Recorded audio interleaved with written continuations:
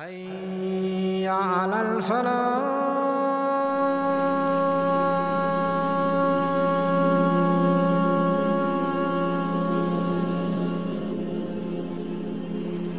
There is a glorious past that we once used to have. There is a glorious past which we all look at and become awestruck when we try to look into and ponder the many things and achievements that our predecessors had accomplished.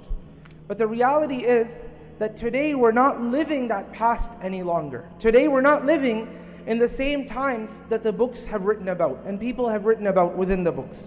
Today we're living in a time where perhaps the Muslim Ummah, despite being one of the largest nations in the world, in numbers, we perhaps are one of the weakest nations, suppressed by others. And for a people who are such large in numbers, it is very easy for us to rise again.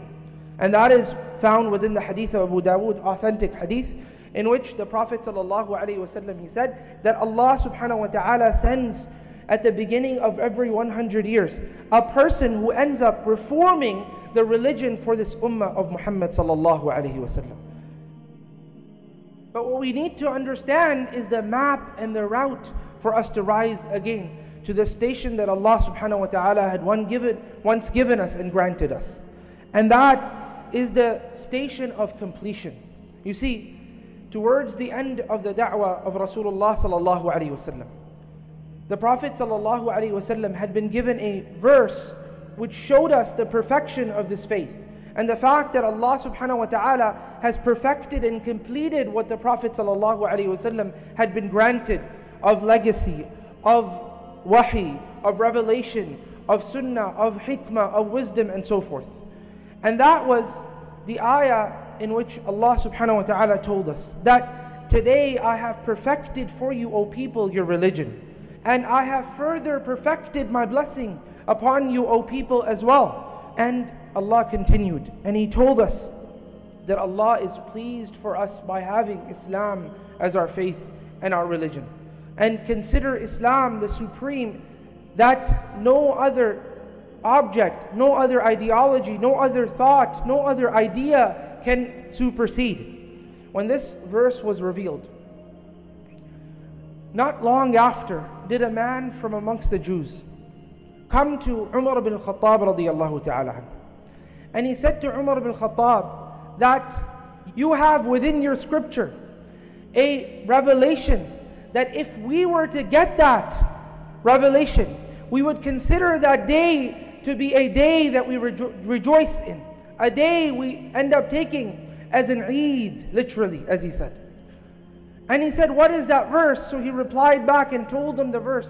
And Umar ibn Khattab said, well, I know exactly where this was revealed upon the Prophet sallallahu It was revealed to the Messenger wasallam in Arafah, and it was revealed to the Prophet sallallahu on the day of Jumu'ah. When we, whenever we speak about the topic of reform and reformation, immediately people start to bring within their minds ideas which perhaps weren't there historically. And to some, a reform or a reformation or tajdeed is a reformation wherein something new is being brought within the religion. But we say no. Allah subhanahu wa ta'ala has perfected the religion. And after perfection, there's only defect. And so similarly, Allah subhanahu wa ta'ala has made the religion the life with which we live, with which our souls live. And in order for us to ensure that this religion is continuing to serve the same task, Allah subhanahu wa ta'ala placed within it the mechanism of reformation. And that is found within the hadith of Abu Dawood, authentic hadith, in which the Prophet sallallahu ﷺ, he said that Allah subhanahu wa ta'ala sends at the beginning of every 100 years a person who ends up reforming the religion for this ummah of Muhammad wasallam. They said 100 years. Why 100 years? Because you see, if we look at every 100 years, for the most part, within the time frame of 100 years, Allah subhanahu wa ta'ala makes it such that the grandparents are there and their children come and their children come as well. And normally within three generations, the practices that were once there, they end up changing, and that's why there's always a very severe disconnect between grandchildren and grandparents, many a times, because societies move and trends change and cultures change and, and so on and so forth. And that goes also for religion at times within the 100 years. The message and the legacy that was there at the beginning, it no longer remains. And that's why, what do we say? The Sahaba, the Tabi'een, and the Tabi'ut Tabi'een, who will come, who will be able to renovate the religion that was once all, already there. And when does this 100 years start? According to some of the scholars, and I will not get into the details of it, but according to some of the scholars, it starts from the moment when the Prophet ﷺ, he said this hadith. And we have records that likely the Messenger ﷺ, he said this right towards the end of his life. And that would mean that the very first person who had been sent by Allah subhanahu wa ta'ala to be a reformist within this ummah would be Abu Bakr radiallahu ta'ala anhu. And that is because right after the death of the Messenger wasallam, there was a lot of problems that started to surface immediately after. There was people who started to deny zakat, there was people who started to apostate, there was people who were unsure about the death of Rasulullah sallallahu alaihi wasallam and so on and so forth. Abu Bakr came and they were unsure about who also the khilafah should be given to. And so Abu Bakr came and many of these occasions he ended up clarifying the misconceptions that were fast arising. So Abu Bakr radiallahu ta'ala anhu was this first reformist. And thereafter came many people who reformed the religion from the angles wherein the rathatha occurred, wherein the religion started to perhaps need the re- renovation. Allah has placed within the religion the mechanism of that. And that is by sending people who will do this. Now, one may say that sure, there is renovation. Sure, Allah subhanahu wa ta'ala does send people who renovate. Why is this topic of paramount importance to us today? The reason why this topic is of paramount importance to us today is for two reasons. Number one, there are those who call to a reformation. And they do that loud and clear, and in the name of reformation, they end up uprooting the very practices that the Prophet ﷺ had brought to us. And he had placed upon that very solid foundation this religion. In the name of reformation. And then this hadith is quoted in order for them to support their agenda of what they call to be reformation, but in reality, it is the destruction of faith. Whatever Allah subhanahu wa ta'ala has not predefined already, those are the things within the religion which are considered contextual. Everything else, Allah subhanahu wa ta'ala has already defined for us. So if someone is bringing something new to the faith, in reality they're bringing something which happens to be an innovation within this faith. The, process of bringing about a true reform within this faith is to bring the faith back to what it used to be during the time of Rasulullah sallallahu alaihi wasallam and what the Messenger sallallahu alaihi wasallam had left this faith at. And the second very important idea is the fact that Allah, when He said that Allah sends at the beginning of every 100 years, who will re rejuvenate, revive, reform this religion for the ummah. Allah subhanahu wa ta'ala used the word man. And if we look at usulul fiqh, man is amongst the ways that we can have generality. And that means that Allah subhanahu wa ta'ala can send us more than one person and it doesn't have to be one person.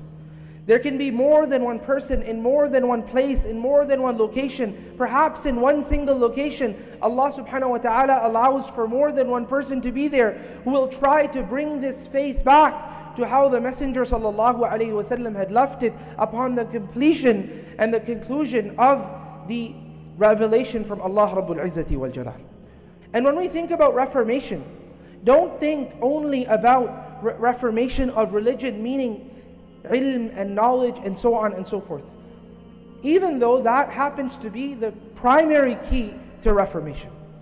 When we think about Reformation, they say you have to think about a number of things. You think about belief, and belief is much greater or larger of a term than what the word aqidah has been simplified to, and that is simply theological debates between different sects. That was not meant alone by the word aqidah, it was much more expansive than that. So anything that allows us to feel an internal relation with Allah subhanahu wa ta'ala and that increases our connection to Allah, that is all part of our belief. Allah subhanahu wa ta'ala hadn't limited beliefs to simply theological debates. That has its place, that has its time, but along with that, there is all of the things that Allah subhanahu wa ta'ala has given us within the Quran which increase our faith and bring us closer to Allah Rabbul Izzati wal Jalal. So we have to reform this angle as well. Becoming closer to Allah subhanahu wa ta'ala through the beautiful names of Allah Rabbul Izzati wal Jalal. Recognizing Allah subhanahu wa ta'ala through the creation that Allah subhanahu wa ta'ala had, has, has made for us. As a poet says, that in every single thing you can find a sign from which you can recognize that Allah Rabbul Izzati wal Jalal is in fact one. The Prophet wasallam he used to say in a hadith, think about the bounties and the blessings and all of the beautiful things that Allah subhanahu wa ta'ala has granted and created and don't necessarily think about the existence of Allah right because shaitan comes to a person and he says you came into existence through the birth from this particular mother and so on and so forth and that person came into existence through there and so on and so forth all the way till it ends to Adam. Adam was created by Allah. Who created Allah? This is the trick that shaitan plays with the creation of Allah subhanahu wa ta'ala at that time.